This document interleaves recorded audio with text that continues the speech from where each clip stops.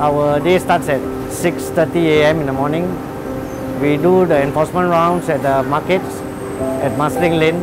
This is one of the four popular markets, so we have to start earlier as it gets very crowded very fast. Area is quite small, is more congested, so members of the public have uh, difficulties in complying to the safe distancing.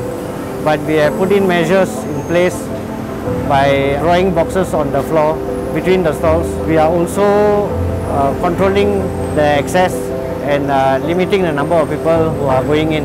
Generally, most of the people that we encounter during our rounds, they are understanding to why we are doing whatever we are doing. Some of them tend to encourage us to keep the fight going.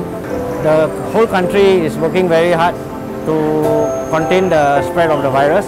If there is one thing that everyone can do to assist is uh, to stay home. Uh, if you do not have any essential business to conduct outside, please don't come out. So it will be easier for us to contain the spread.